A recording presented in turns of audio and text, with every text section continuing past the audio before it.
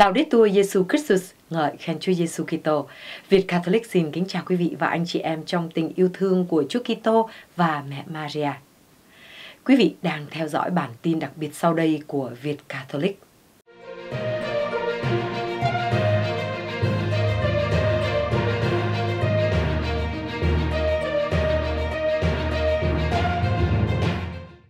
Lạy Chúa chúng con về từ bốn phương trời lạy chúa chúng con về từ khắp thôn làng. Cùng quê lớn song người hành hương, về nhà chúa đi, về nhà chúa đi. Hành trang con mang theo đầy đau buồn của thế giới. Hành trang con mang theo trao cảm ơn của dân nghèo. Về đây xin dâng cha trong lo đưa hai tay với chúa, chúng con về từ bốn phương trời. Lạy chúa, chúng con về từ khắp muôn làng. Cùng với lớn sông người hành hương về nhà chúa đi, về nhà chúa đi. Hành trang con mang theo cuộc nỗi loạn của người trẻ. Hành trang con mang theo niềm lo sợ của lớp già. Về đây xin dâng cha trong lo âu đưa hai tay muốn chung xây thế giới mới. Lạy chúa, chúng con về từ bốn phương trời. Lạy chúa, chúng con về từ khắp thôn làng. Cùng với lớp xong người hành hương về nhà chúa đi, về nhà chúa đi.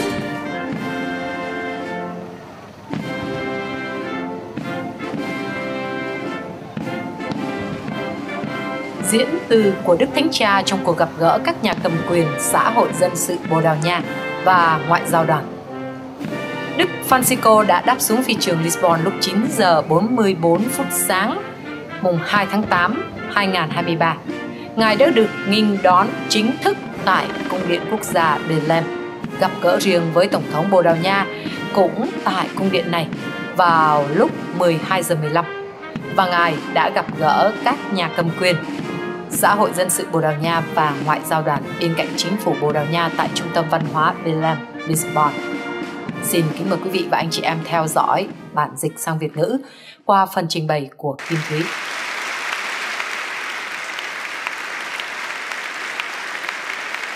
Un mare, un mare che Thưa Tổng thống Cộng hòa, thưa Ngài Chủ tịch Quốc hội nước Cộng hòa, thưa Thủ tướng, các thành viên chính phủ và ngoại giao đoàn, các nhà chức trách đại diện xã hội dân sự và thế giới văn hóa. Thưa quý bà và quý ông, tôi thân ái chào quý vị. Tôi cảm ơn Tổng thống về sự chào đón và những lời tốt đẹp của Ngài. Tổng thống rất hoan nghênh tôi. Cảm ơn Tổng thống. Tôi rất vui được đến Lisbon, thành phố gặp gỡ này, nơi tiếp nhận nhiều dân tộc và nhiều nền văn hóa. Và ngày nay, thành phố thậm chí còn mang tính hoàn cầu hơn.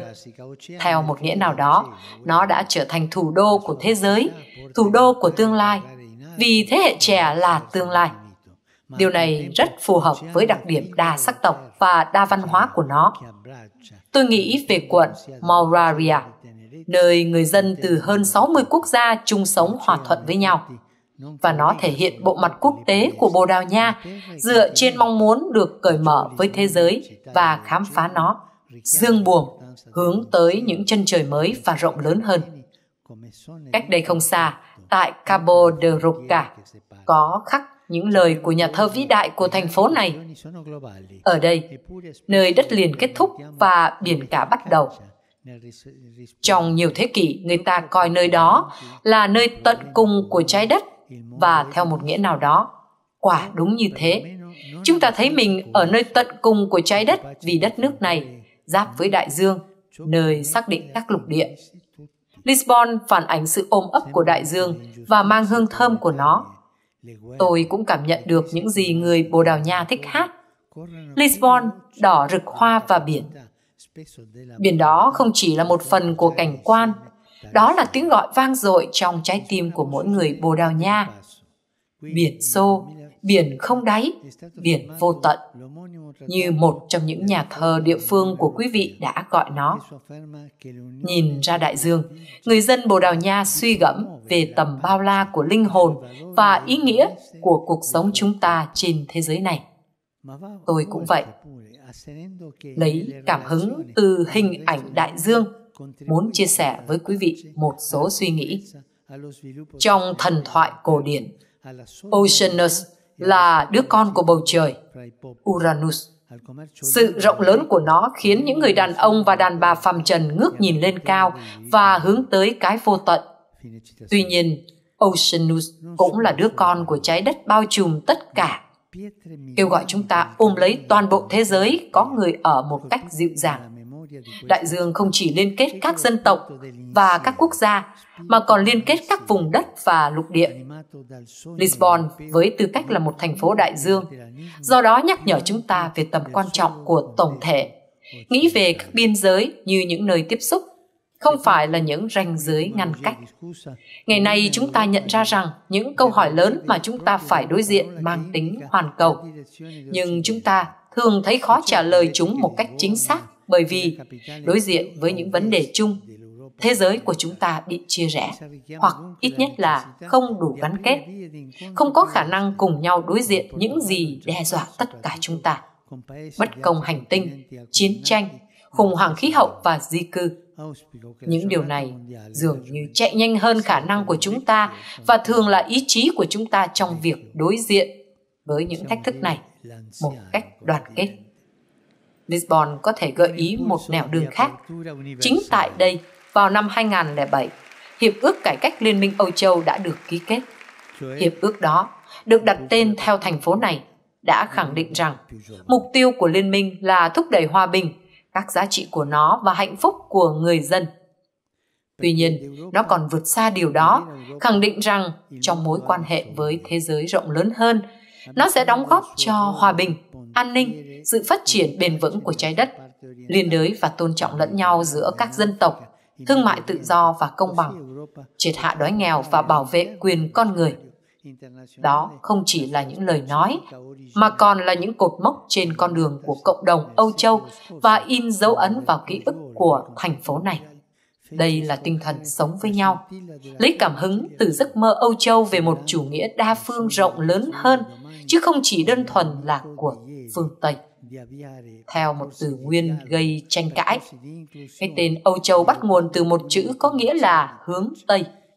Điều chắc chắn là Lisbon là thủ đô xa nhất về phía Tây của lục địa Âu Châu, và do đó nói với chúng ta về sự cần thiết phải mở ra những con đường gặp gỡ ngày càng rộng lớn hơn.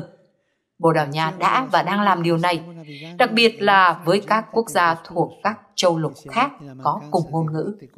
Tôi hy vọng rằng ngày giới trẻ thế giới có thể đối với lục địa già chúng ta có thể nói là lục địa có tuổi hơn là một động lực hướng tới sự cởi mở phổ quát một động lực làm cho nó trẻ hơn vì thế giới cần âu châu âu châu đích thực nó cần vai trò của âu châu như một cây cầu và người kiến tạo hòa bình ở phía đông của nó ở địa trung hải ở phi châu và ở trung đông bằng cách này âu châu sẽ có thể đóng góp cụ thể của riêng mình trên trường quốc tế.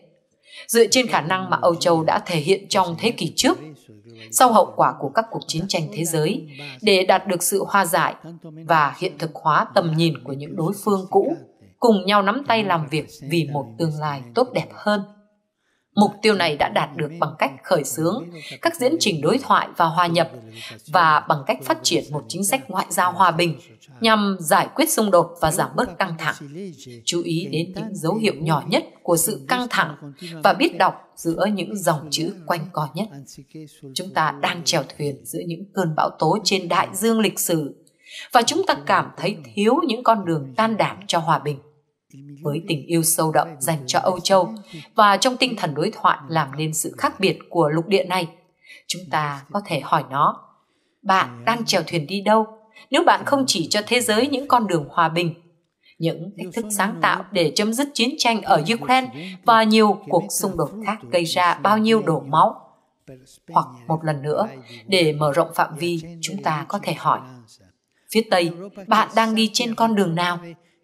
Các kỹ thuật của bạn, những thứ đã mang lại tiến bộ và hoàn cầu hóa thế giới, tự chúng chưa đủ. Càng không phải là những vũ khí cực kỳ tinh vi của bạn, những thứ không thể hiện sự đầu tư cho tương lai, mà là sự cạn kiệt nguồn vốn nhân bản đích thực của nó. Đó là giáo dục, y tế, nhà nước phúc lợi. Thật đáng lo ngại khi chúng ta đọc được rằng ở nhiều nơi, các quỹ tiếp tục được đầu tư vào vũ khí hơn là vào tương lai của giới trẻ. Đây là sự thật. Vài ngày trước, một nhà kinh tế đã nói với tôi rằng thu nhập đầu tư tốt nhất đến từ việc sản xuất vũ khí. Chúng ta đang đầu tư vào vũ khí nhiều hơn là vào tương lai của trẻ em Tôi mơ về một Âu Châu, trái tim của phương Tây, nơi sử dụng những tài năng to lớn của mình để giải quyết xung đột và thắp sáng những ngọn đèn hy vọng. Một Âu Châu có khả năng phục hồi trái tim trẻ trung của mình, hướng tới sự vĩ đại của tổng thể và vượt ra ngoài những nhu cầu trước mắt của nó. Một Âu Châu bao gồm các dân tộc và con người cùng với các nền văn hóa của riêng họ, không chạy theo các ý thức hệ và các hình thức thực dân ý thức hệ. Điều này giúp đưa chúng ta trở lại giấc mơ của những người sáng lập Liên minh Âu Châu. Họ đã có một giấc mơ tuyệt vời. Đại dương, vùng nước bao la này, gợi lại nguồn gốc của sự sống. Trong thế giới phát triển ngày nay, nghịch lý thay, việc bảo vệ sự sống con người bị đe dọa bởi chủ nghĩa vị lợi đang len lỏi, sử dụng sự sống và loại bỏ nó một nền văn hóa loại bỏ sự sống, giờ đây lại trở thành một ưu tiên. Tôi nghĩ đến rất nhiều trẻ em chưa chào đời và những người lớn tuổi bị bỏ rơi về thách thức lớn lao trong việc chào đón, bảo vệ, thúc đẩy và hội nhập những người từ xa đến gõ cửa nhà chúng ta và sự cô lập mà rất nhiều gia đình cảm thấy khó khăn trong việc đưa con cái vào thế giới và nuôi dạy chúng. Ở đâu cũng vậy, chúng ta có thể hỏi Âu Châu và phương Tây, bạn đang chèo thuyền đi đâu?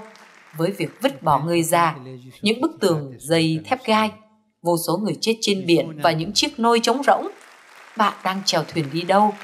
Bạn sẽ đi về đâu nếu trước những tai ương của cuộc đời, bạn đưa ra những biện pháp chữa trị vội vàng nhưng sai lầm, như dễ dàng tiếp cận cái chết. Một câu trả lời thuận tiện có vẻ ngọt ngào nhưng thực ra lại đắng hơn nước biển ở đây tôi đang nghĩ về nhiều luật tiên tiến liên quan đến an tử. Tuy nhiên, Lisbon được bao quanh bởi đại dương, cho chúng ta lý do để hy vọng. Đó là một thành phố của hy vọng, một biển người trẻ đang đổ về thành phố hiếu khách này. Tại đây, tôi muốn bày tỏ lòng biết ơn đối với công việc khó khăn và những nỗ lực quảng đại mà Bồ Đào Nha đã thể hiện trong việc tổ chức một biến cố đầy thách thức để tổ chức nhưng cũng rất giàu hy vọng. Như một câu nói địa phương từng phát biểu, trong đồng hành với những người trẻ tuổi, chúng ta không bao giờ già đi. Những người trẻ từ khắp nơi trên thế giới, những người mơ ước và khao khát sự hiệp nhất, hòa bình và tình huynh đệ, thúc giục chúng ta biến những giấc mơ tốt đẹp của họ thành hiện thực. Họ xuống đường không phải để kêu gào giận dữ, nhưng để chia sẻ niềm hy vọng của tin mừng, niềm hy vọng của sự sống vào thời điểm mà chúng ta đang chứng kiến ở nhiều phía bầu không khí phản đối và bất ổn mảnh đất màu mỡ cho các hình thức chủ nghĩa dân túy và thuyết âm mưu. Ngày giới trẻ thế giới là cơ hội để cùng nhau xây dựng. Nó làm sống lại mong muốn của chúng ta để hoàn thành một điều gì đó mới mẻ và khác biệt, để vươn khơi và cùng nhau dương buồm hướng tới tương lai. Chúng ta được nhắc nhở về những lời táo bạo đó của Pessoa. Ra khơi là cần thiết, sống thì không. Điều quan trọng là sáng tạo. Vì vậy, chúng ta hãy quyết tâm với sự sáng tạo để cùng nhau xây dựng. Tôi muốn đề xuất ba địa điểm xây dựng hy vọng mà tất cả chúng ta có thể làm việc cùng nhau. Môi trường, tương lai và tình huynh đệ. Môi trường Bồ Đào Nha cùng với Âu Châu đã có những đóng góp xuất sắc trong việc bảo vệ sáng thế. Tuy nhiên, ở cấp độ hoàn cầu, vấn đề vẫn còn vô cùng nghiêm trọng các đại dương đang nóng lên và độ sâu của chúng đang phơi bày sự đáng xấu hổ mà với nó. chúng ta đã làm ô nhiễm ngôi nhà chung của mình. chúng ta đang biến nguồn dự trữ lớn của sự sống thành bãi rác thải nhựa. Đại dương nhắc nhở chúng ta rằng cuộc sống con người là một phần tích hợp của một môi trường vĩ đại hơn chính chúng ta một phần phải được bảo vệ và trông coi với sự quan tâm và chăm sóc vì lợi ích của các thế hệ tương lai. Làm sao chúng ta có thể cho là mình tin tưởng vào những người trẻ tuổi nếu chúng ta không dành cho họ những không gian lành mạnh để xây dựng tương lai? Tương lai là công trường thứ hai. Tuổi trẻ là tương lai. Tuy nhiên, họ phải đối diện với nhiều điều khiến họ nản lòng, thiếu việc làm, nhịp sống chóng mặt của cuộc sống đương thời, giá cả sinh hoạt tăng vọt, khó tìm nhà ở và thậm chí đáng lo ngại hơn là nỗi sợ lập gia đình và sinh con cái. Ở Âu Châu và nói chung là ở phương Tây, chúng ta đang chứng kiến sự suy giảm trong đường cong nhân khẩu học. Sự tiến bộ dường như được đo lường bằng sự phát triển của kỹ thuật và sự thoải mái bản thân trong khi tương lai đòi hỏi phải đảo ngược tình trạng giảm tỷ lệ sinh và suy giảm ý chí sinh tồn. Một nền chính trị lành mạnh có thể đạt được nhiều thành tựu về mặt này. Nó có thể là một nguồn hy vọng. Đó không phải là việc nắm giữ quyền lực, mà là trao cho mọi người khả năng hy vọng. Ngày nay, hơn bao giờ hết, đó là về việc điều chỉnh sự mất cân bằng của nền kinh tế thị trường tạo ra của cải, nhưng không phân phối được tước đoạt tài nguyên và an ninh của con người. Đời sống chính trị một lần nữa được thách thức để tự coi mình là người tạo ra sự sống và quan tâm đến người khác. Nó được kêu gọi thể hiện tầm nhìn xa bằng cách đầu tư vào tương lai, vào gia đình và trẻ em, và bằng cách thúc đẩy các giao ước liên thế hệ không hủy bỏ quá khứ, nhưng tạo nên mối liên kết giữa người trẻ và người già. Chúng ta cần nối lại cuộc đối thoại giữa người trẻ và người già. Điều này được khuyến khích bởi cảm giác saudade, mà trong tiếng Bồ Đào Nha thể hiện một loại hoài niệm, khao khát một điều tốt đẹp, khuyến diện, vốn phát sinh từ sự tiếp xúc với cội nguồn của chúng ta. Những người trẻ tuổi phải tìm thấy nguồn gốc của họ trong những người lớn tuổi. Ở đây giáo dục là thiết yếu. Một nền giáo dục không chỉ truyền đạt kiến thức kỹ thuật hướng đến tăng trưởng kinh tế, mà còn nhằm mục đích biến thế hệ trẻ thành lịch sử, truyền lại truyền thống coi trọng chiều kích và nhu cầu tôn giáo của chúng ta và ủng hộ tình bạn xã hội. Công trường xây dựng cuối cùng của niềm hy vọng là tình huynh đệ mà người Kitô hữu chúng ta học được từ Chúa Giêsu Kitô. Ở nhiều vùng của Bồ Đào Nha, chúng ta bắt gặp một cảm giác sống động về sự gần gũi và liên đới. Tuy nhiên, trong bối cảnh hoàn cầu hóa rộng lớn hơn, mang chúng ta đến gần nhau hơn, nhưng không tạo ra sự gần gũi huynh đệ. Tất cả chúng ta đều bị thách thức phải vun trồng ý thức cộng đồng, bắt đầu bằng sự quan tâm đến những người sống gần đó. Vì như Saramago đã nhận xét, điều mang lại ý nghĩa đích thực cho cuộc gặp gỡ là sự quan tâm đến người khác và chúng ta phải đi xa để đến được điều ở gần. Thật đẹp biết bao khi nhận ra rằng chúng ta là anh chị em và cùng theo đuổi công ích bỏ lại sau lưng những xung đột và quan điểm khác biệt. Ở đây cũng vậy, chúng ta có thể thấy một tấm gương nơi những người trẻ với những lời cầu xin hòa bình và khát khao sống, thúc đẩy chúng ta phá bỏ những bức tường ngăn cách được dựng lên nhân danh những quan điểm và tín ngưỡng khác nhau. Tôi đã gặp biết bao nhiêu người trẻ khao khát được xích lại gần nhau hơn. Tôi nghĩ đến sáng kiến Misal Pais, một sáng kiến dẫn dắt hàng ngàn người trẻ theo tinh thần tin mừng chia sẻ kinh nghiệm về tình liên đới truyền giáo ở các vùng ngoại vi, đặc biệt là ở các làng trong nội địa của đất nước và đi ra ngoài để tìm kiếm những người già đang sống một mình. Đây là một sự sức giàu cho những người trẻ tuổi. Tôi muốn cảm ơn và khuyến khích họ, cũng như tất cả những người trong xã hội Bồ Đào Nha, bày tỏ sự quan tâm đến người khác, cũng như giáo hội địa phương, đã âm thầm và kín đáo làm rất nhiều điều tốt đẹp.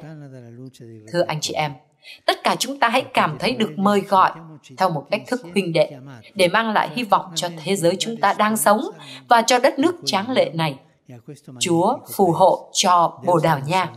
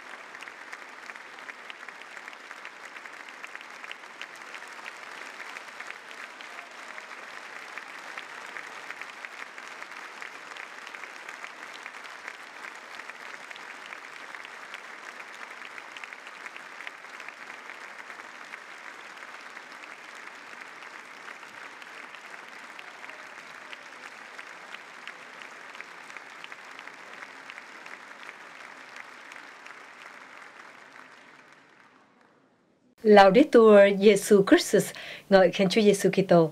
Việt Catholic xin kính chào quý vị và anh chị em trong tình yêu thương của Chúa Kitô và mẹ Maria. Kim Thúy xin cảm ơn quý vị và anh chị em theo dõi chương trình này và đây là bản tin đặc biệt trong ngày hôm nay của chúng tôi.